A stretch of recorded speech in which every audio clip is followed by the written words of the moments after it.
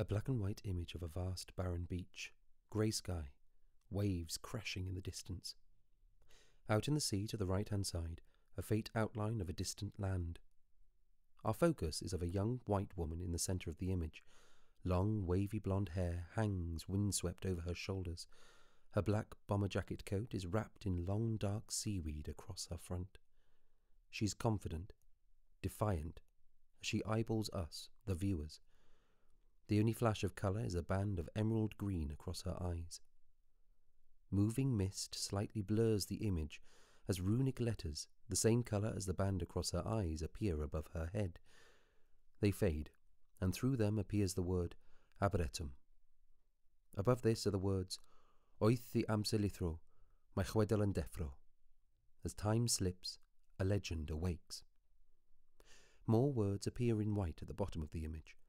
Aberystwyth from the 4th to the 8th of May 2023.